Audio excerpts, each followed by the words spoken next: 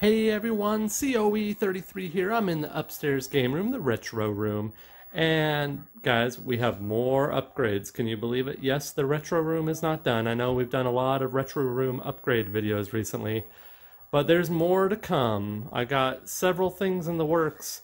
Probably the most significant and exciting upgrade to the retro room yet including a bunch of smaller little upgrades that I've made. So this is probably going to be a multi-part series because I have some stuff coming and this is going to be yet another project. It's going to take some doing, but it's very exciting. So before we get into the big news of what's going to happen in here, there's a bunch of little things to share with you. So if you saw our last We Got Mail episode, you saw us pick up a couple things, including this 3D printed Atari sign, which is going to go here on the Atari shelf in the Retro Lounge. And by the way, I've got a little old school Pac-Man going on the Atari 2600. And I think that's going to be pretty nice. So I'm going to go ahead and get that where it goes. And then, of course, Oscar's here to hang out with us. And then this sign here, we also got in our last We Got Mail. This is going to go over here in Arcade Nook. And that's going to be pretty sweet. So I got to put that where it goes. And then I was talking about this item that's going on this wall over here. I've hinted to it in our previous Retro Room upgrade video. And that did arrive, and I have it being framed professionally at the framers right now. And it's due any day. We got Mortal Kombat 2 here on the Mortal Kombat cab, so that's always pretty sweet. And that's going to be nice to get that back from the framers because I'm really looking forward to putting that on the wall over by the Mortal Kombat cab. And then I've done a few more small changes over here on the game wall. We went ahead and did a little artwork at the end of the hall here. We had this blank wall, and now it has this really cool timeline, the history of video game timeline that I found online. And I went ahead and framed it, printed it out, gave it a nice little red background.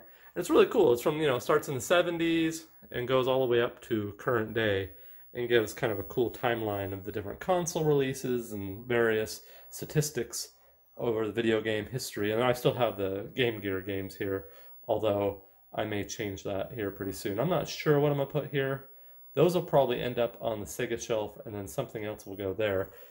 And then another big change is I want to keep everything kind of together as far as grouping Sega games together. So I went ahead and moved the 32X games onto the Sega shelf because that just made sense. They're Sega games. This is the Sega shelf. So we now have our complete set of Sega 32X games on the Sega shelf, which is awesome. And I moved the little perler sign that we made onto the shelf as well. Which means over here, that display that we had is no longer there.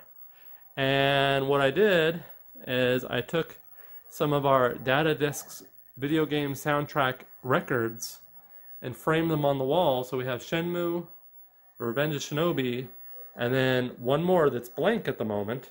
And that's because I have another one coming in the mail from the UK that's going to go right there. And I imagine we'll share that probably in a We Got Mail. And it'll live right there in that frame when it arrives. And then yet another small little change on top of the slot machine, we now have this really cool Las Vegas LED sign. So it's kind of a reproduction of the famous, the iconic uh, sign that greets you when you go to Las Vegas. And I thought that was pretty fitting considering it's a Las Vegas themed slot machine. So yeah, lots of little changes. Very cool. This room is definitely coming along.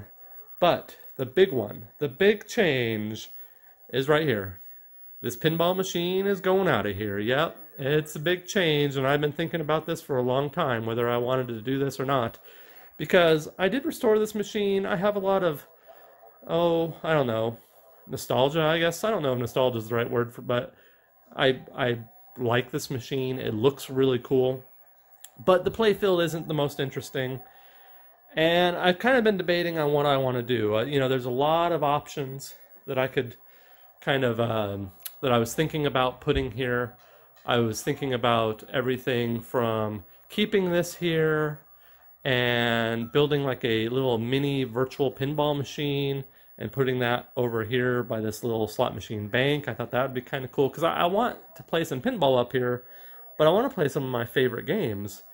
And then, of course, thinking about replacing it with a dream pinball machine, something like a um, oh Medieval Madness or a Ripley's Believe It or Not or a Theater of Magic or something really cool.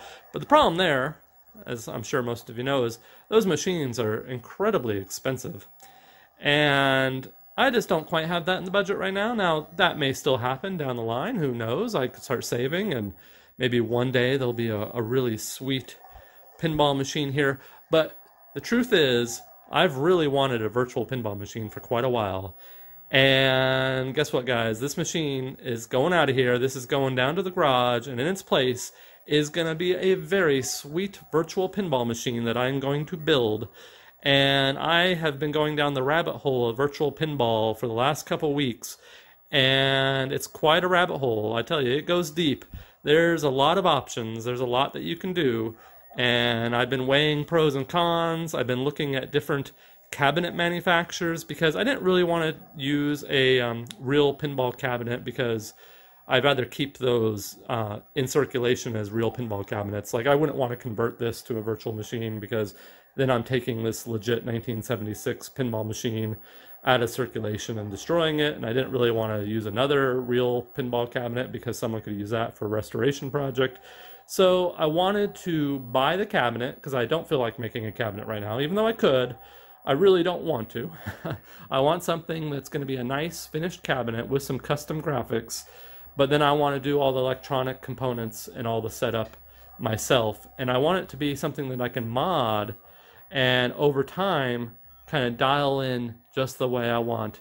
And guys, I'm really excited because the machine that I already ordered that's gonna it's probably gonna take a while to get here, so this will be part one of a multi-part series. But uh, I will definitely share, you know, the progress as the machine arrives and as I install it and everything. But I have a few things I can share with you.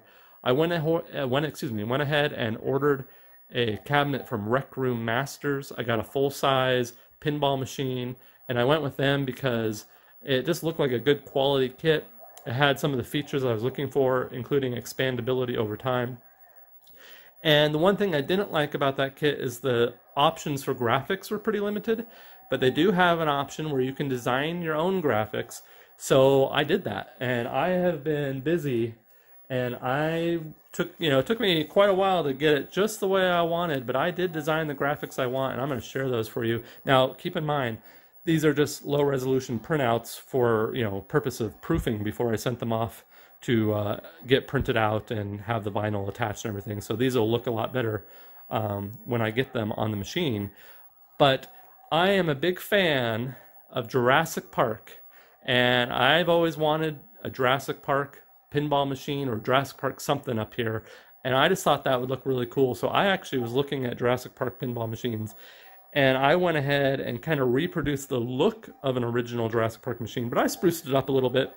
And this is what I came up with. So here are the graphics that I designed, and I was really lucky to find some high resolution art online um, from several different sources. Uh, there was a couple people that were designing like Jurassic Park Jeeps, and they had high resolution images. And then I was able to source a few different images and I put together these graphics. So this will be the left side here. We got the main body, and um, I didn't have to like stretch any of these images, so they'll all be really nice and high resolution when they print out. And then right here, this will be the side art. So you can imagine this main image here will be on the side of the pinball machine, and then this image here will be on the side of the back glass um, on the side there. So that's going to be really cool. So there it is. So one Jurassic Park virtual pinball machine is en route, hopefully soon. And I'm excited because I have some big plans. This is going to be a pretty sweet build. I'm going to go ahead and do a 4K playfield so that the resolution is, you know, like really crisp and the details on the pinball tables are super clear which means I'm going to have to put a pretty beefy PC in here to run everything because it's probably going to be three monitors. I may do two monitors to start with and then upgrade over time. But uh, yeah, so virtual pinball machine, pretty exciting. This is going to be quite the project. and I can't wait until that arrives.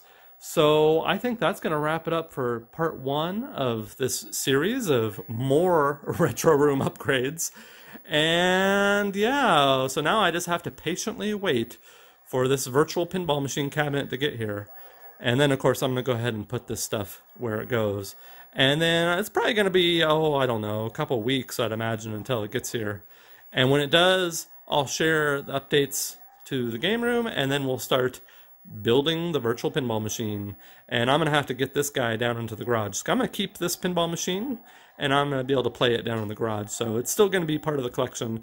You guys just won't see it as much. It's not going to live up here in the retro room. But uh, hopefully this uh, new machine will be a big improvement. All right, everyone. Thanks so much for watching. And until next time, bye.